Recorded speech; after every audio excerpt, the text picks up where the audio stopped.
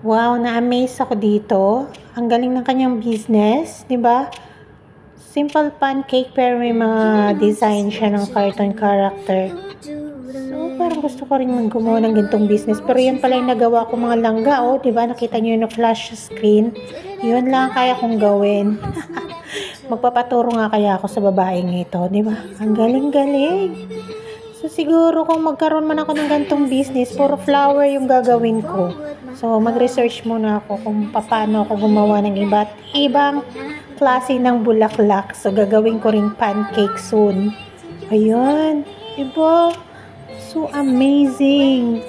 Nakakatuwa talaga. So, lalo na, na napaka-catchy sa mga bata to. Yan, patok na patok talaga sa mga bata. So, hindi ko alam kung ano mga character yung mga yan.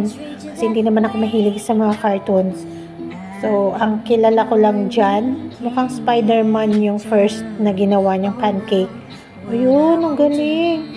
Oh my God. Tapos, memorize na memorize niya na talaga kung paano gawin, di ba?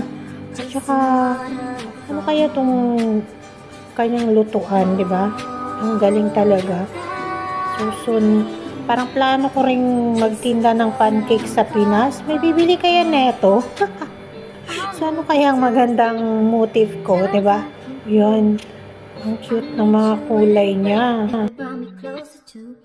Andun yung mga details niya. Alam na alam niya na talaga kung paano gawin. So, sa bagay, siguro matagal na rin tong kanyang business. Yan. So, nakita ko lang itong mga langga.